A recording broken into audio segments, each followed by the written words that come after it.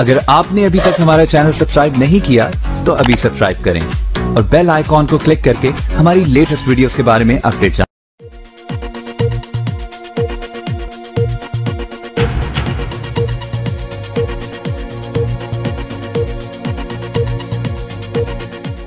ऊन यात्री बस असंतुलित होकर पलटी, जिसमें पंद्रह लोग हुए घायल।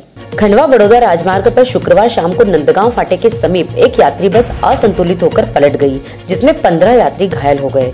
जानकारी अनुसार घटना शुक्रवार शाम करीब पाँच बजे की है। खरगोन से सेंधवा जा रही मानसी ट्रेवल्स की एम पी टेन पी 0778 को तेज गति से चालक चला रहा था। नंदगांव फाटे के पास संतुलन बिगड़ने से सड़क के नीचे उतरकर पलटी खा गई, जिसमें सवार कई यात्रियों को चोट आई। घटना के बाद राहगीरों की भीड़ जमा हो गई। ग्रामीणों व पुलिस की मदद से घायलों को बाहर निकाला गया और 108 की मदद से जिला अस्पताल एवं उन स्वास्थ्य केंद्र पहुँचाया गया। घटना में कुछ यात्रियों के सिर में चोट लगी और कुछ को फ्रैक्चर भी हुए हैं। डिजियाना न्यूज़ रिपोर्ट, ऊन।